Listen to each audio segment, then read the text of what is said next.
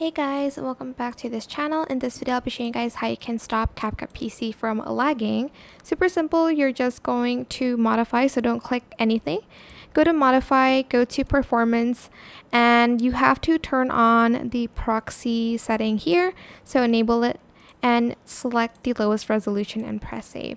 Then go to menu and go to settings here and go to performance again. And if you have all of these like enabled, turn it all off so that you won't lag.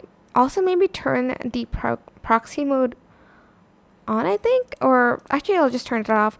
But you want to turn these off because it um, avoids exporting issues. This one, this one avoids black screen and blurry screen caused by driver incompatibility, as well as this one, it avoids like um, black screen problems once you're done, you're just going to hit the save button and that's how you'll stop your PC from lagging when you use CapCut PC.